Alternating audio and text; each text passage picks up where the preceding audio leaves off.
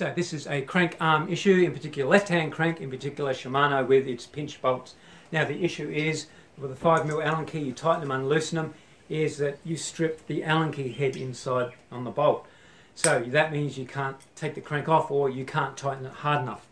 Now it must be a fairly common issue because we've had three riders down here locally have this problem. One guy about a year ago was riding up a small hill and his crank arm just wobbled, wobbled, and it came off, and it was still clipped in to his shoe, and there it was dangling. So he, uh, he did admit that he tried to tighten one of the bolts up, and the head stripped on the bolt, and he couldn't tighten it up. And well, he went for a ride anyway and suffered the consequences.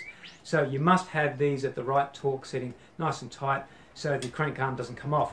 Now the other issue is, in particular with this guy here, this rider, he couldn't get his left hand crank off. He wanted to replace his bearings, but he couldn't get his crank arm off. So he's given it to me. Now he got the uh, bolt closest to the bottom bracket out, and here it is here. That's okay, that's fine. But the outside bolt, with his 5mm Allen key, stripped the head, so he couldn't get a 6mm Allen key in there, too big, so he tried an imperial size, sort of in between size. Bash, bash, bash with with the hammer on the Allen key, try and get it to fit in, spread the head a bit more, tried to turn it and strip the head even more, made it, the flange uh, even wider. So next thing he did was get a large flathead screwdriver, hold it central, bash, bash, bash, bash, try and make a big imprint on there.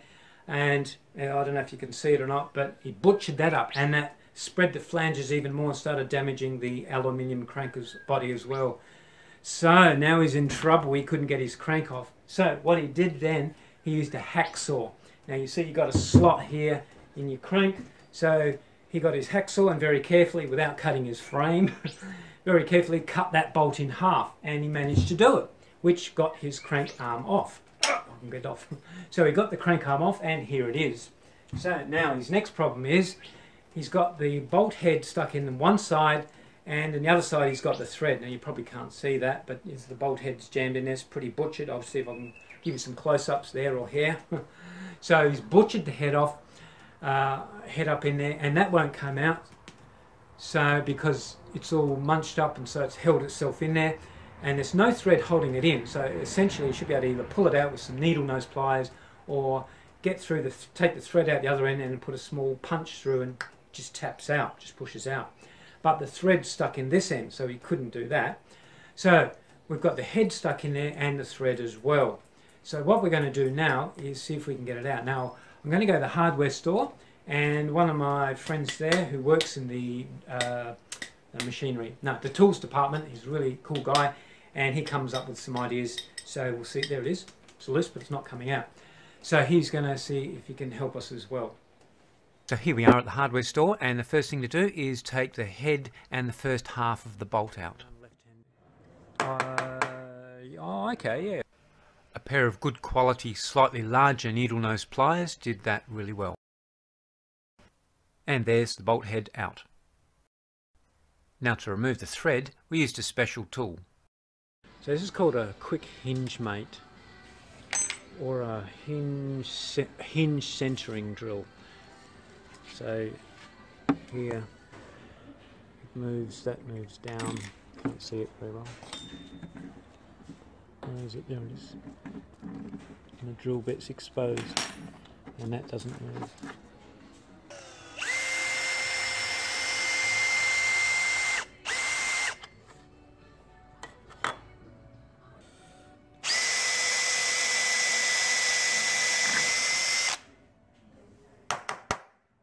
Drilled something. Good all? Mm.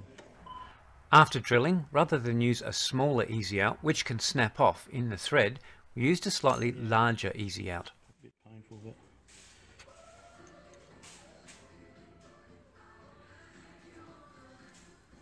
when it succeeds though, it's a great sign of relief. it's, yeah, it's a sense of achievement. Yeah, that's it, sense of achievement. He's got it. Go, go, you got it. Here you can see how large the easy out actually is. And once it started grabbing on that thread, well, it just easy outed the thread. Hmm. What was after today? um, no, Bill, I haven't got it. No, Ta-da! So we've got the little piece out. There's the little mongrel. and we've now got clear holes. But just to make sure, we're going to run a tap through there so that it's nice and clean, nice clean thread. Metal and stuff stuck in there. Yeah, just to make sure. That, that should wind in nicely now.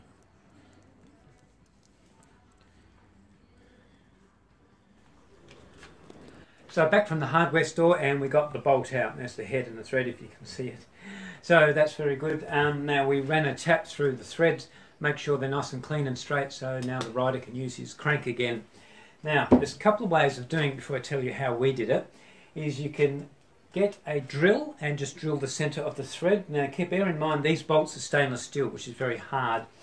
And with a drill bit, it's got a tendency, if you're not holding the drill dead straight, like with a drill press and you got your crank maybe in a jig so it's nice and central if you're just using a hand drill it can go sideways it usually does the drill bit wants to sort of go sideways so when you put your easy out in can only use a certain size easy out and then it starts to hit the walls of the thread so what happens is you can quite often easily break the snap snap off the easy out inside the thread then you're in more trouble so you, what you need to do is drill that hole nice and central and then you'll be right. The other way is a reverse drill bit. So as you're drilling in, in reverse with your drill, it pulls the thread out, and unwinds it, pulls it out. Now that's the same sort of situation. If that works good, if it doesn't, now this is the way we did it. We got this little thing here. Now carpenters usually use these. It's called a quick bit hinge mate. So with hinges on doors and cupboards. They've got the holes already in the hinge. Now this thing has got a drill bit inside it. I don't know if you can see it. And as you press, it centralizes itself in the little bevel in the hinge there. And as you drill, the hole's dead center of the hole in your hinge there. So now same with the crank arm. You've got a hole there already. And as you put this on there, there's a little bevel on the end. It centers itself in the middle there of the hole and as you drill in it'll drill nice and central on the thread that's stuck in, in the crank there. So that's what you want and the reason is if it's nice and central you can use a larger drill bit. A larger drill bit means you get a larger easy out in there and that's good because there's less likelihood of it pulling out and you've got more strength as well to unwind it. That's the way we got it out with a slightly larger easy out by using this little tool here. So they're really good to use. Get one for your workshop. Very handy because you never know when you might want to take the bolts out. Now that's the way I recommend you do it. If you do get a bolt that's stuck in there for some reason, try and get one of these things. Quick bit hinge mate. So it's a quick bit hinge mate. And then you're guaranteed to get it out with no troubles. If you do snap off an easy out in there, you will be in trouble. Um, what you could do, I suppose, if you can get the head out the other end, is you can probably get a small uh, punch and then punch a very small one and punch the easy out out of the thread and then you'll have to start again with another easy out because you've broken that one it's going to cost you more money and maybe drill a bigger hole if you can but you probably can't because you've now gone sideways so good luck but please keep that in mind it's going to save you money just buying that little thing there and it's going to work and this method can be used on pretty much any bolt on your bike from head stems suspension forks your shoe cleats, brake disc bolts, seat post area, and most common of all is the water bottle cage screws. Any other screws that get stuck as well, you can use it on them. Koala on the road. Hey, big boy.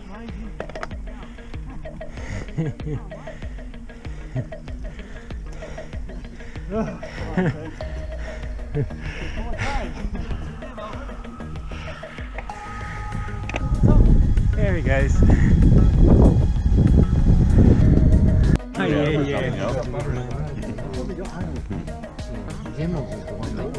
yeah. George's going to get you. Why likes to nibble socks? No, a bit of fungus on there. Last person sucked those times died. Must be something in there, George.